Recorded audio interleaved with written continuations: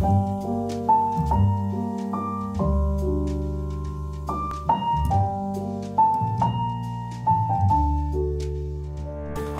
I am Anchor Jay from the Goat News Network, GNN.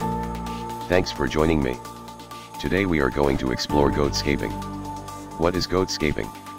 And how does it work? Let's take a look. Goatscaping is land clearing and brush removal by goats. We are especially well suited to jobs that are not easily done by humans. Such as poison ivy removal or clearing stone walls or steep dams. A particular forte of ours is invasive plant management. In most situations, against most invasive species we are more effective than chemical controls. Not to mention much more friendly to Mother Earth. Goats can be very effective for both clearing and annual maintenance. Basically we can work like mechanical removal, clearing land, or like chemical maintenance, keeping unwanted vegetation at bay. Depending on what your project needs now, or in the future. We goats love the work we do.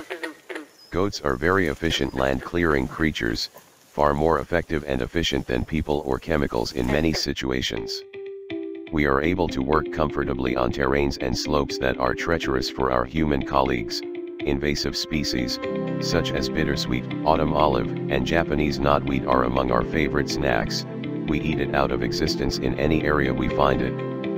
Our goat teams are never left alone, we are always accompanied by at least one human herder, this is for safety, for us and neighbors. Just in case we lose our way from the job at hand.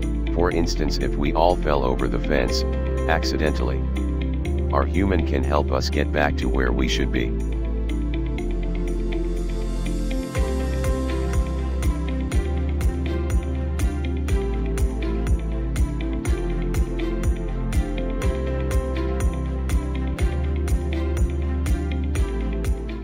Each invasive plant and individual situation requires a control plan, this subject is far too extensive for this introduction video and I suggest speaking with a goatscaping company to get an exact plan and estimate. For this video I will stick with the general basics. A crew of 17 to 21 goats can clear 1 8 to a half acre per day. Density is the primary factor here. The denser the brush, the slower the going. I feel it is also worth noting that we goats do very well in dense heavy brush on crazy terrain, but we are pretty slow if you ask us to clear a field, sheep are a bit better suited for that, we are browsers, sheep are grazers.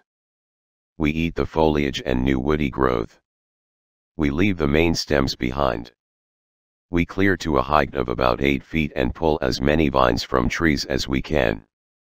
We are not bothered at all by thorny brush, some of our favorite eats include thorns. There are a few things that we cannot eat, for example, any plant in the azalea family will make us very ill and can be fatal. Our herders do their best to make certain we do not accidentally eat it. We travel to work in our bus-turned tiny homestead. Each goat team has a human. Our human or herder, lives with us, drives our tiny house and makes sure our needs are met while on the go.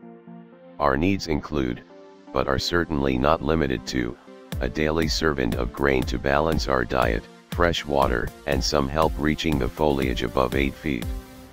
Our herder also provides medical care and grooming.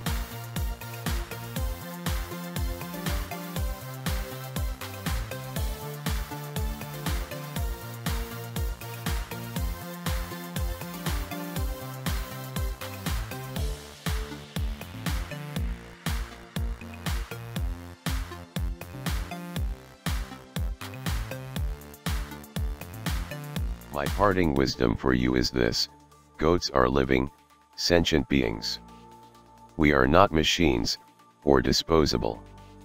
We can be a very helpful addition to environmental projects, that's for sure. When seeking a goatscaping company please be sure they put the welfare of the goats first, most importantly. We should never be left alone. This protects you as well as us. We can do lots of very expensive damage to a neighbor's property if we accidentally fall out of our designated work area. Yes for sure. Goats are known for falling over 4-foot fences and not realizing that we are then on the wrong side. And we do this in groups. Also, our work can be treacherous and like our human colleagues, we can get injured or fall ill. All bad circumstances are well remedied by a prepared knowledgeable herder. Because of the inherent hazards. Pregnant does, goats under a year old and intact males called bucks should never be on the job site. I hope I have been informative and that you may find goatscaping useful in the future. Thank you.